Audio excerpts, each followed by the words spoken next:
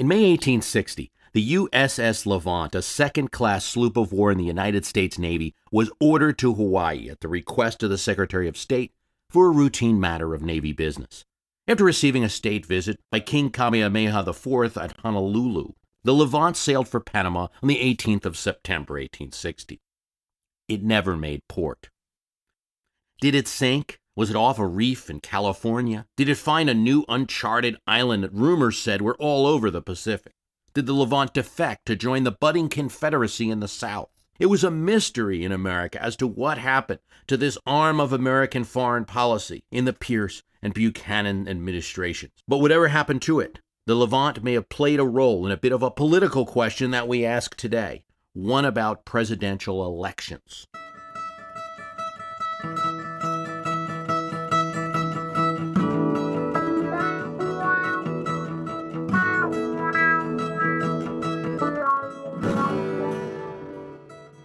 To the editor of the New York Times, January 7, 1861. In your paper of today, I notice a report of the probable loss of the United States sloop of war Levant. On the departure of the last mail steamer, the Levant had been out only 103 days from Honolulu, Sandwich Islands, for Panama. During the past 10 years, there have been several vessels which have been over 100 days between these two ports. One in particular, in 1852, was 139 days.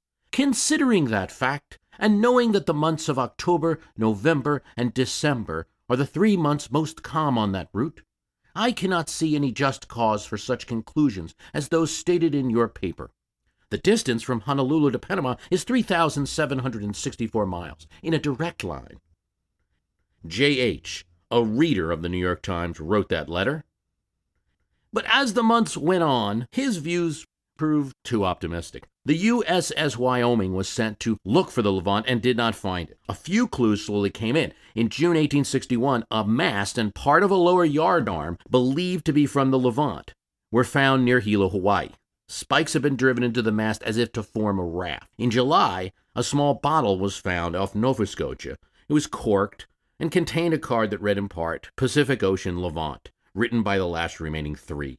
But the card was damaged when it was removed from the bottle, and parts of the message were unreadable. It couldn't be verified to really be from the Levant. Ten years after the disappearance, a reader contacted the New York Times. He was living in Paris, but he, he said, was one of the survivors of the Levant. Few believed him. The Congress in 1861 passed a law to compensate the widows and orphan children of the officers, seamen, marines, and others who were lost with the ship. There's no telling what really happened, but prior to its disappearance, the sloop had taken part in a conflict that most Americans aren't aware of. But more about that in a bit. I want to talk a bit about the United States Senate. The United States legislative system has two parts a House of Representatives and a Senate. So does Canada. Well, in Canada, there is much talk now of abolishing their upper house, their Senate. That body goes back to 1867, and it was created to be a body of sober second thought that would curb the democratic excesses of the elected House of Commons.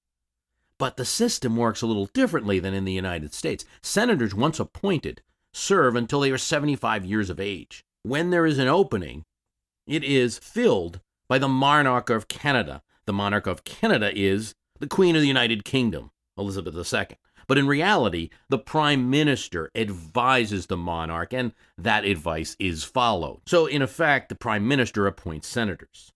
When Canada's Senate was founded, there was established a qualification of property that still exists. The senator must own $4,000 in property. Now, that meant a lot in 1867, but means little now.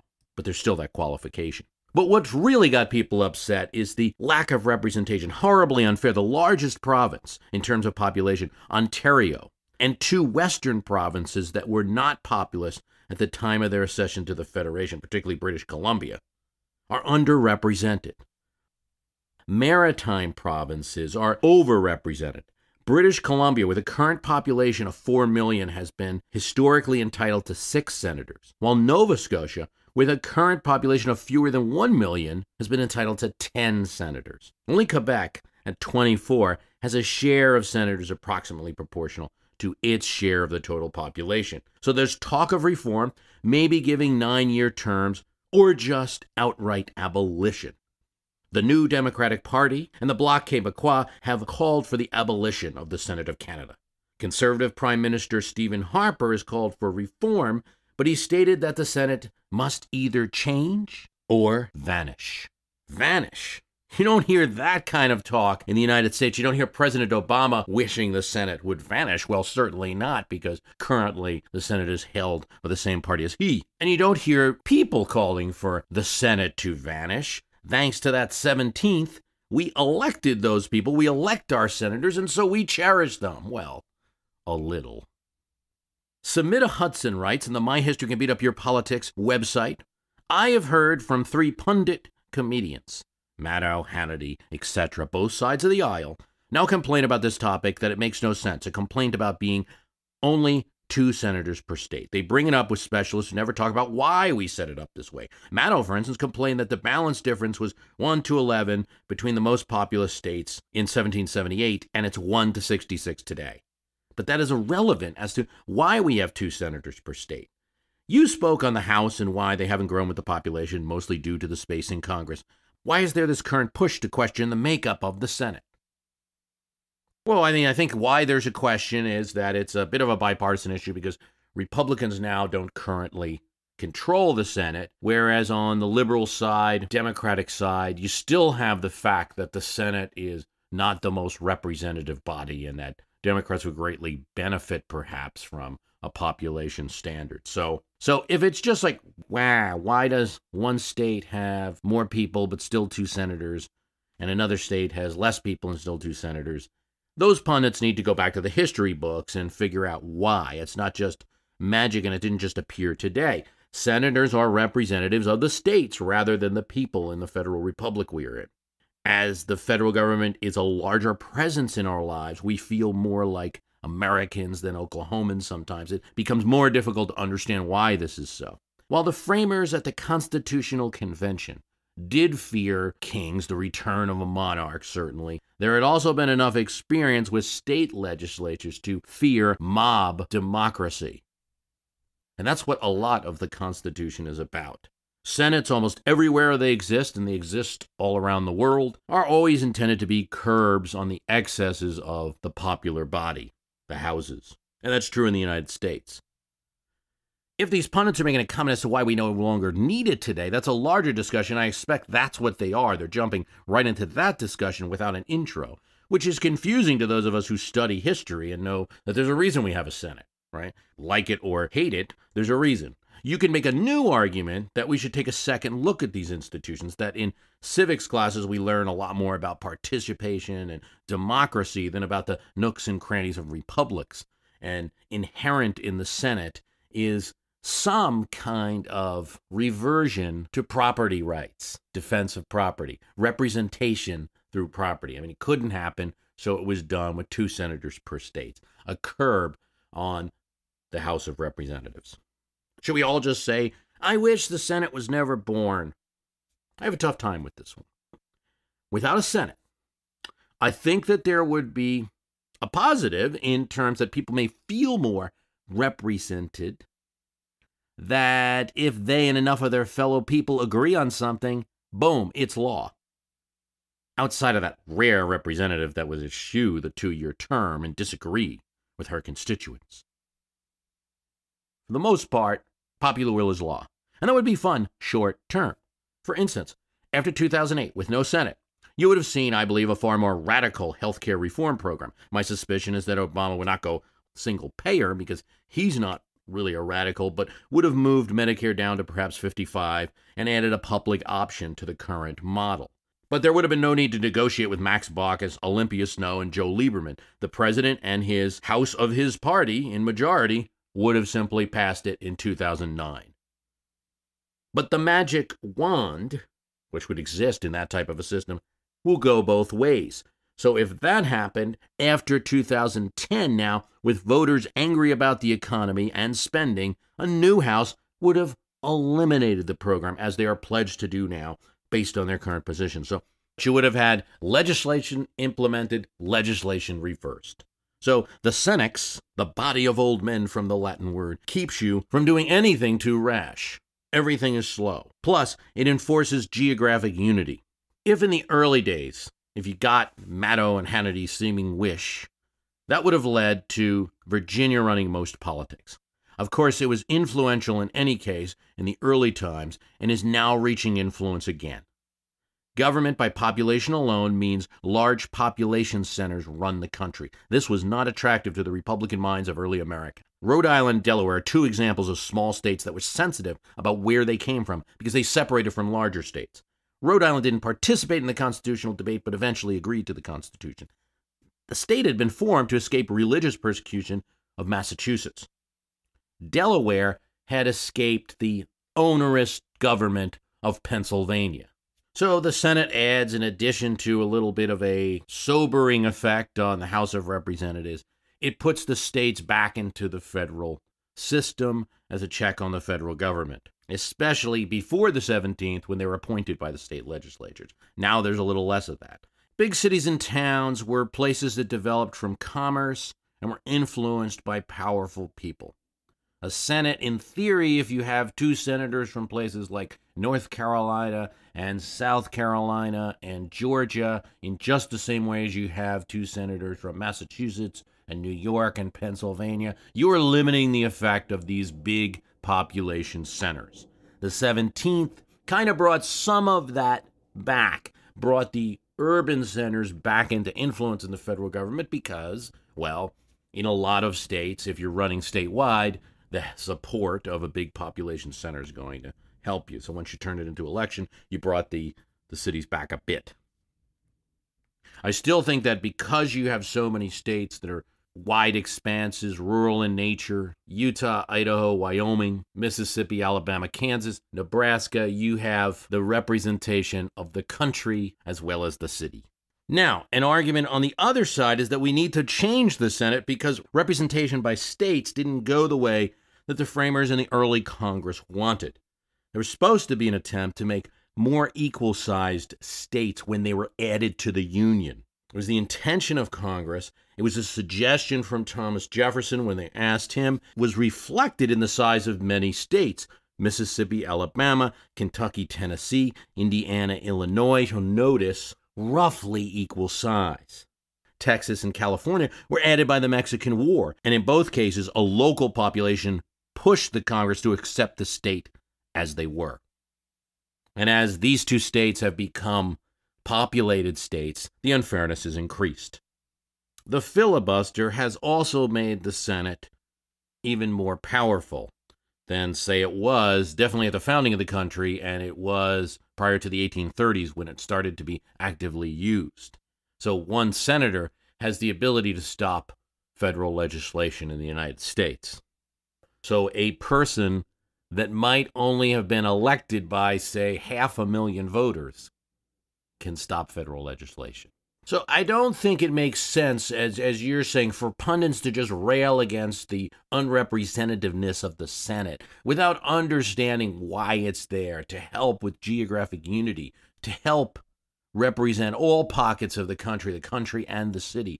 And there's one other justification for the Senate that I think has appeared with some of the gerrymandering that's gone on in the 1980s with the Democratic Party and now in this decade with the Republican Party, where the House is not necessarily representative either.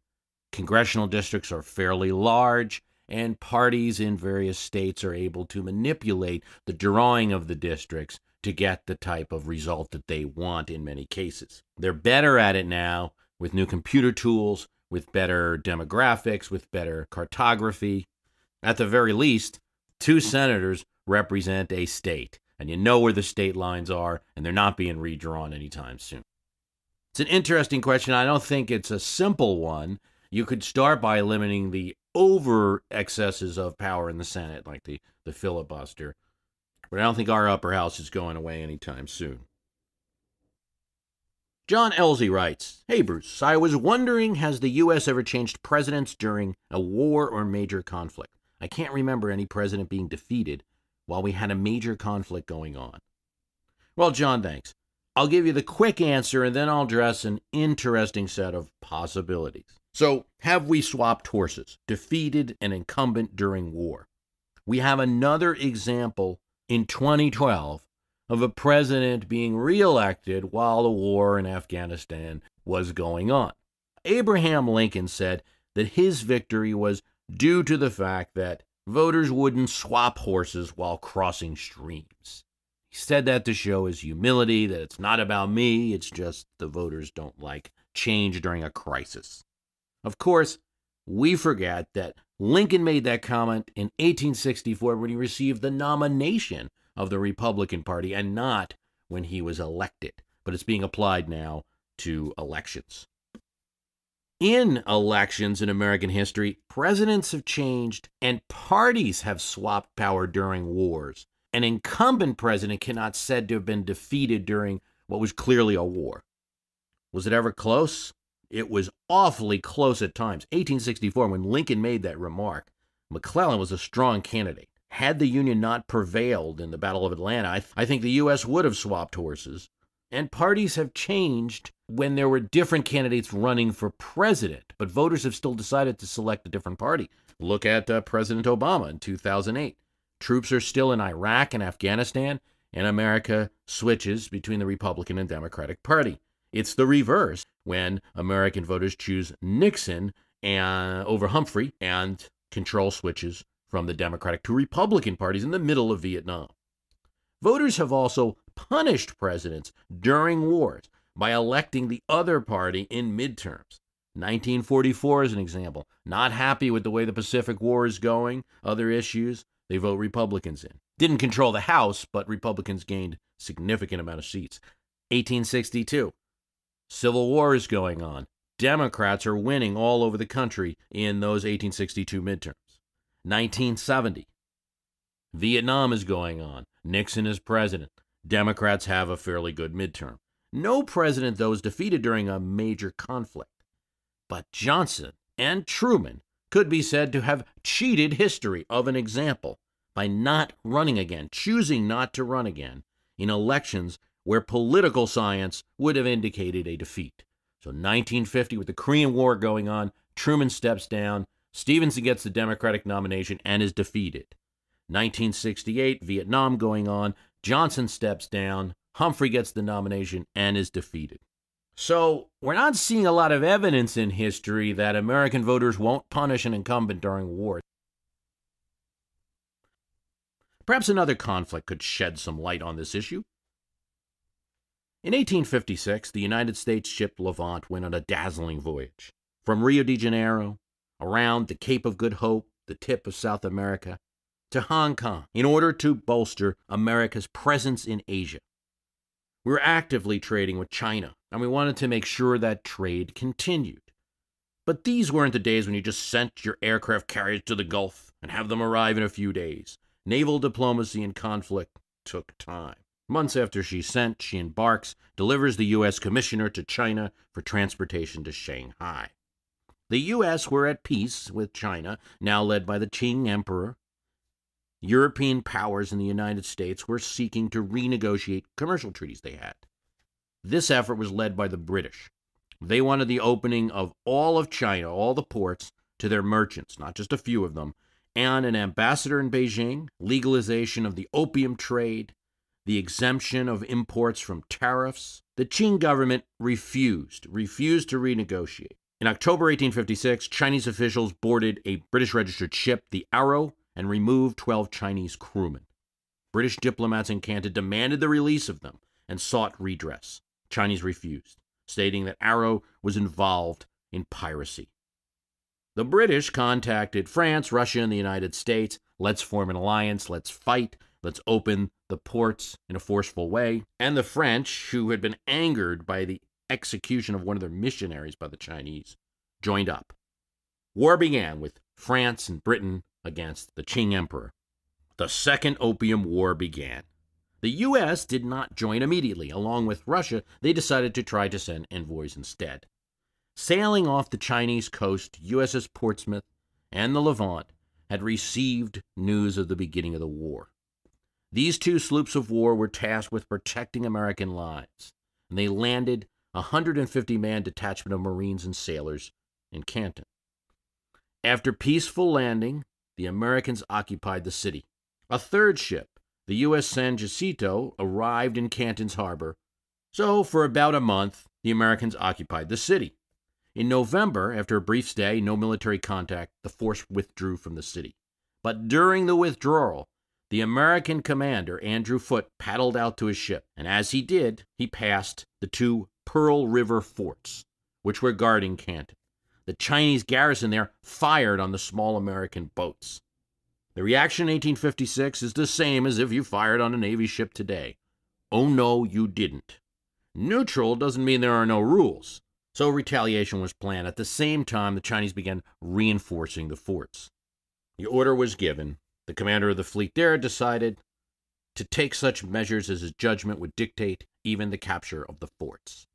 There were four forts in the Pearl River guarding the city of Canton. On the 20th of November, the crews from these three ships took the first fort by leading an amphibious assault with 300 men. Then they silenced the second fort by turning the cannons from the first fort on it.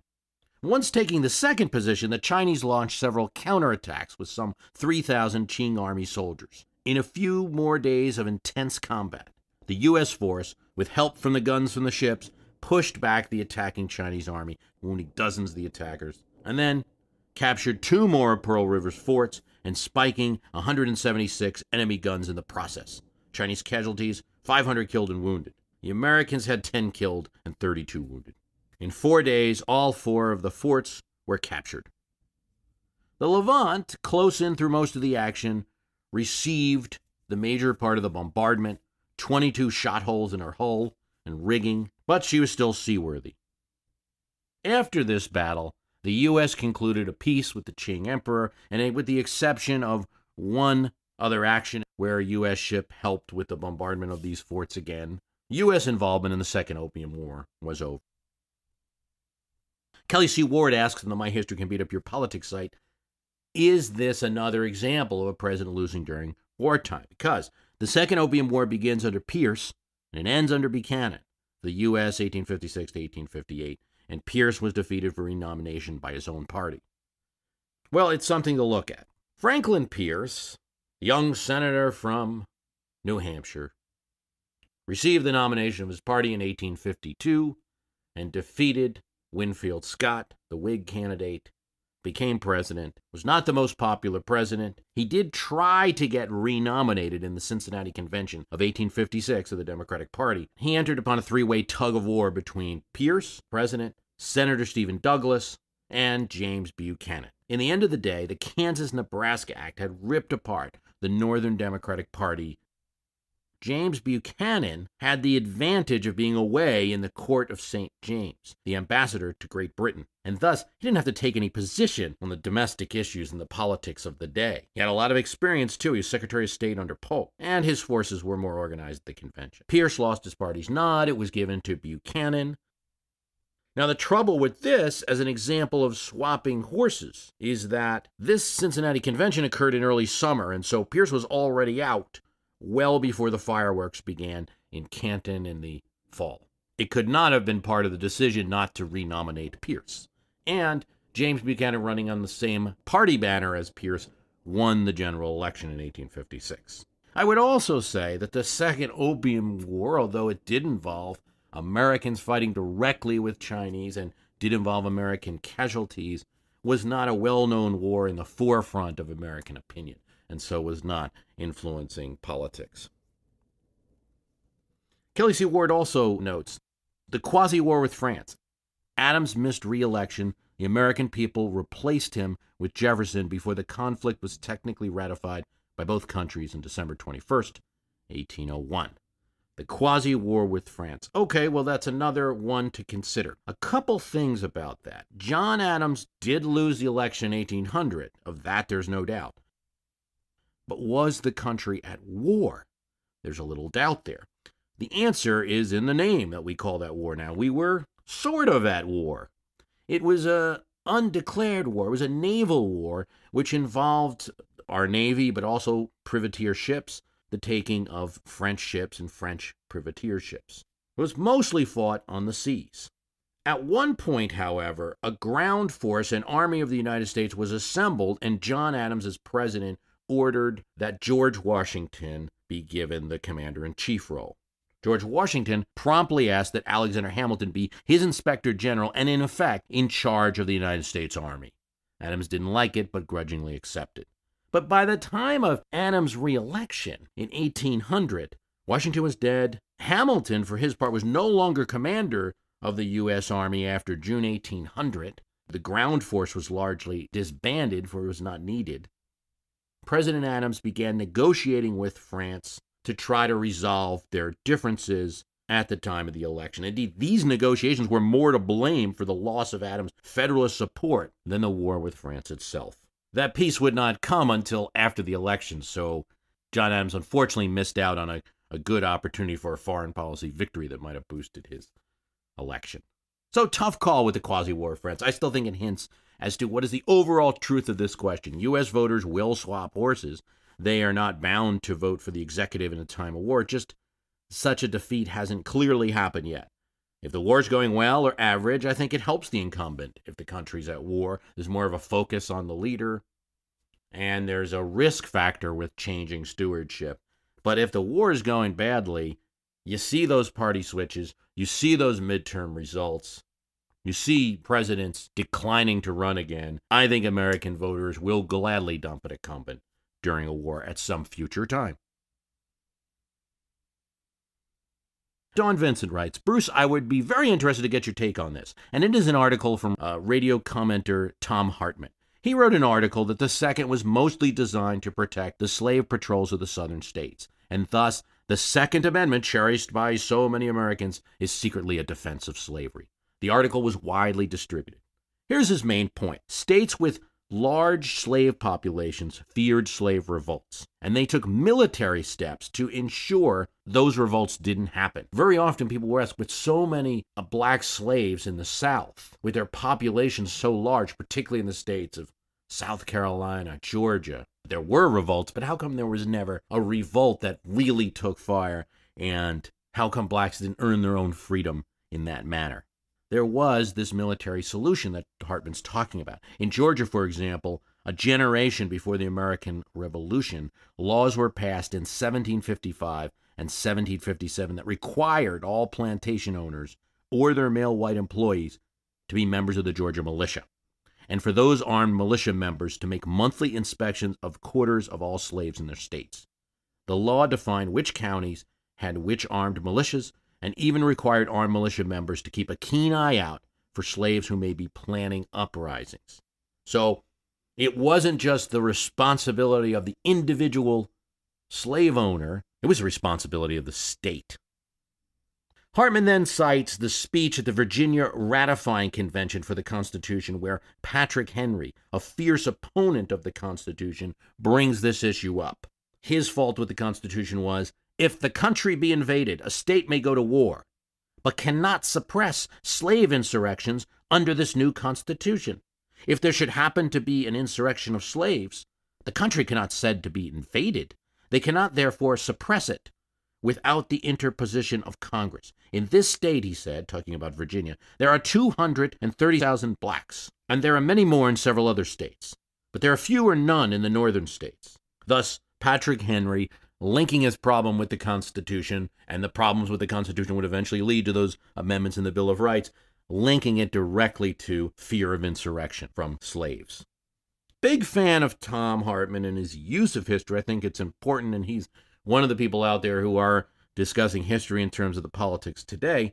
But I still think in many cases he's leading history to conclusions rather than letting history lead him. I'm happy to comment on this because it gives me a chance to talk about this rare profession of applied history, applying history to the events of today. It's dangerous and you have to do it right. I think any of us will have a little bias of some sort, but I also think you can avoid the blatant stuff by not entering historical research with a point of view, but letting it lead you a bit. You might always have your point of view, but be willing to be challenged and to change your point of view as you do more and more research.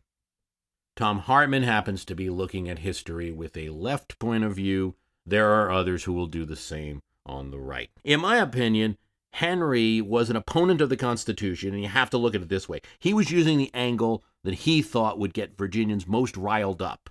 Don't pass this Constitution, or you'll be trapped in a slave revolt with no answer but to rely on the North to save you. He was a slave owner, but no proponent, consistently opposed what he called the abominable practice. Not unlike Jefferson, he's conflicted, even though he was a slave owner and hoped for a day when the practice would be ended. If that were, though, the only part of the problem with Hartmann's argument, Henry's lack of devotion to the slavery cause in reality, then it would still be debatable, and Hartmann still may be right. The weakness would be here. Sure, for the southern states, you might argue that support for an amendment supporting gun rights included the slave patrols and the militia designed to prevent slave insurrections. But you'd have to explain why New Hampshire and New York with just a few slaves and no slave patrols, insisted on the Second Amendment as a condition of their approval of the Constitution. I mean, insisting on a protection for the right to keep and bear arms as a condition of their approval of the Constitution. That's New York and New Hampshire, with nothing to do with these type of slave patrols. And then when you, you start to get into 1688 and the Glorious Revolution, and the Bill of Rights of William and Mary, and that Englishmen had a express right to keep and bear arms, that there's a lot more to this than just the slavery issue. Paul Sumner writes, Bruce, can you shed some light on claims that Texas is a republic and not really a state in our union, and that it can legally secede at any time? If this is true, what would be required within Texas law to make this happen? What is its likelihood, and what ramifications do you envision?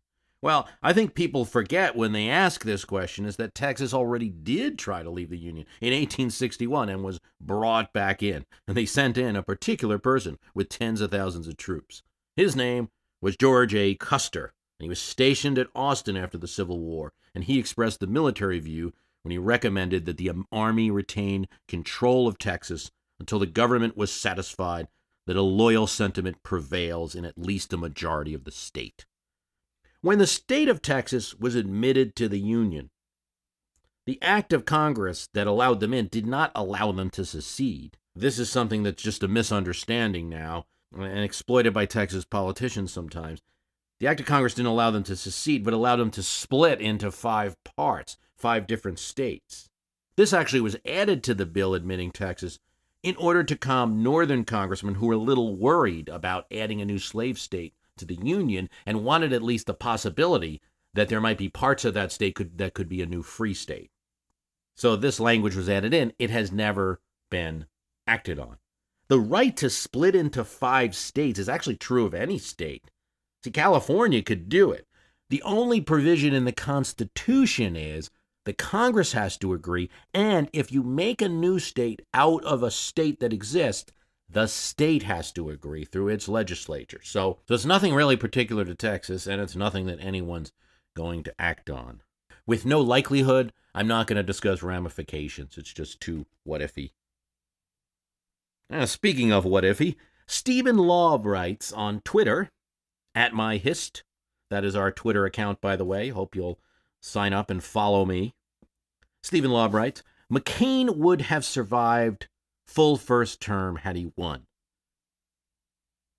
Quoting me Could it be that the stress of the presidency would have been greater than in the Senate? So he's making a note that I, in discussing age in the presidency, had said that in 2008 I was making the point that this issue of McCain's age is not really the big issue. It should be. He's probably going to survive the four years, advanced medical science, and the like.